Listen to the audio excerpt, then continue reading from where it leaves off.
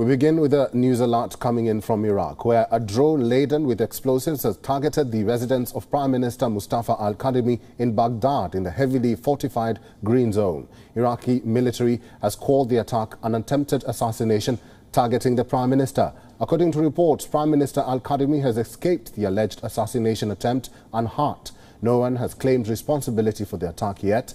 An official statement from the Iraqi military said that the, the attack targeted Kadhimi's residence in Baghdad's Green Zone and that he was in good health. Western diplomats based in the Green Zone, which houses government buildings and foreign embassies, say they heard explosions and gunfire in the area. Iraq Prime Minister, meanwhile, has appealed for calm and restraint.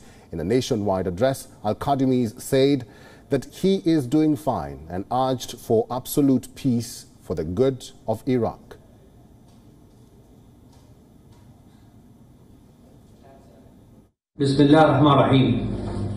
In the name of God, the merciful, to my family and people everywhere in Iraq, to all those who worried on this night, my house was targeted by a cowardly attack. Thank God, me and those who work with me are in good health. Your heroic security and military forces are working on maintaining Iraq's stability and protection. The cowardly missiles and the cowardly drones do not build our nation and do not build our future. We are working on building our nation, on respecting the state and its establishments, securing a better future for all Iraqis. I call on everyone for peaceful dialogue for Iraq and Iraq's future. Long live Iraq.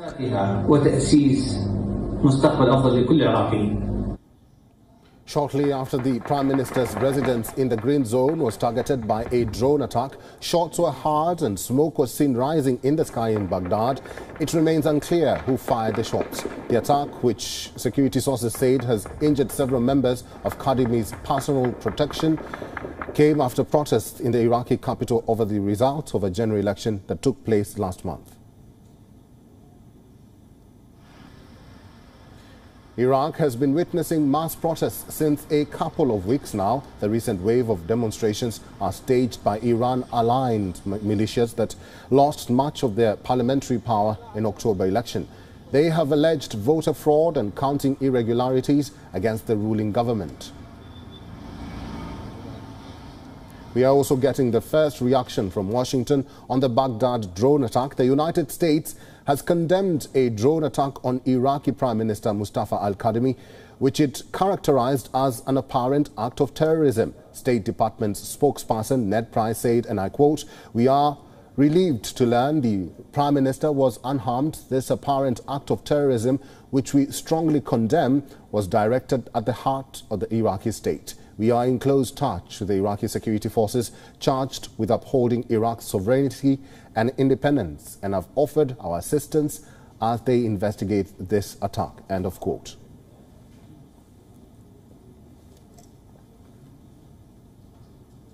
Well, for more details on this story, senior journalist Hawar Ali is joining us live from Erbil in Iraq. Welcome, Hawar, to this broadcast. No group has claimed responsibility yet, despite the U.S. condemning the terror attack. Some claim the attack could be politically motivated. Do we have any further information on this incident? Has the Iraq government initiated investigations on the attack?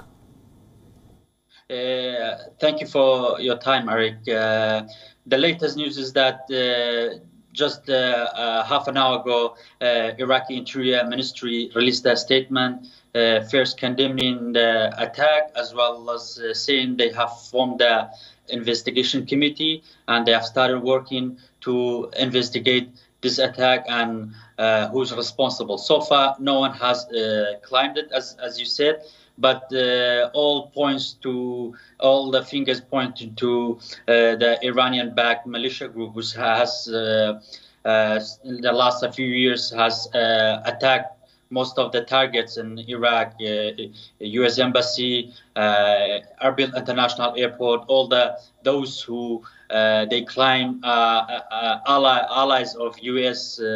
Forces in Iraq, and as you know, since the Iraqi election. a few weeks ago, there have been mass protests condemning the results and protesting the results and most of those uh, protests are backed by those militia groups and uh, senior senior militia groups uh, or senior leaders within the, the groups threatened the uh, Iraqi prime minister just uh, last night during the protest. So all indication that uh, this is the uh, Iranian-backed militias, but uh, so far no one has claimed the attacks. However, let's talk more about the protest. The attack on Prime Minister's residence comes days after hundreds of pro-Iran demonstrators took to the streets of the Iraqi capital Baghdad, leading to clashes with police. They are angered by October's election results. Any further information on that? Yeah, uh, uh, basically, this is the, the party groups who, who are uh, close to or close to the militia groups or close to Iranian uh, uh, Iranian uh, influence. So they they got not a lot of seats or not a lot of votes in the parliament, as you know. So they are angry. they are calling for even the redoing of the elections or re. Twi- they, they, are calling for uh, revoting uh, all the, the votes uh, by hand. So this is impossible. And they have some of the provinces have been done through hands, but or manually, but uh, not all, or, or, you cannot do all the 18 uh, Iraqi provinces. So this is the problem, and they, they say there's a, a rigged uh, elections.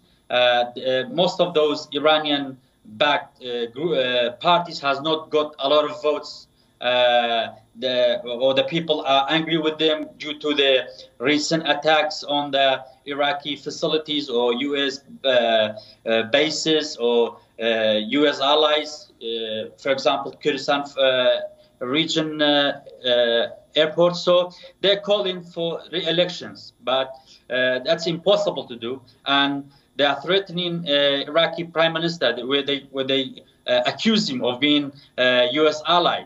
And this is how it started.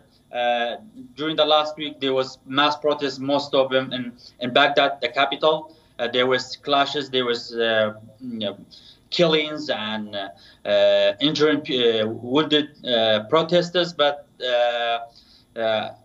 they still continue to protest. And as I said, yes, just yesterday, most of the senior militia groups, senior leaders within the militia groups were present in those uh, protests, and they threatened mm-hmm. the Iraqi Prime Minister uh, Mustafa Kadhimi uh, if they or, uh, or they said uh, if he doesn't intervene and do something on the election results. Right. And this is what we see. Right. Finally, and very quickly, Hawar, what next for yeah. the politics in Iraq then after last month's election, which are still being contested? Uh, that's the million dollar question, Eric. Uh, no one knows what, that will, what will happen, but the the, the certainly is uh, the tension will uh, will be much more than yesterday. Uh, today, uh, as you said, there's been attacks, and the security is most of most of the security forces are within are on the streets trying to calm the situation. But I expect more tensions to come within a few days, given the situation and more maybe more protests and more clashes. This is what I expect. Live from Iraq, thank you very much, Hawar Ali, for talking to WION.